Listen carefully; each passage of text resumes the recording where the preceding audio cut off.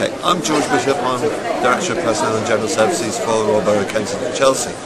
Um, talent management to us means lots of things, but one of the uh, couple of the things we're doing uh, involve young people and proposed scheme for older people. So we've got a scheme called Head Start for young people up to 20 we bring them in on the training scheme, give them an NVQ2 training for a year and take them into jobs at the end of it. Everybody who has stayed with us for the year has ended up in a permanent job. And a huge success. I started off with a small budget where I was paying for the trainees. I now have 20 to 30 trainees in training paid for by the business groups. That's left me with a budget that I'm looking to fill. Uh, so what we're going to do is to produce a scheme of a similar nature, but for older people.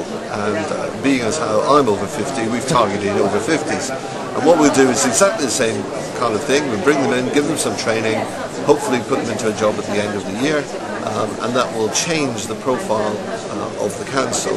We already are, have more young people in, we have older people in coming in on trainee schemes.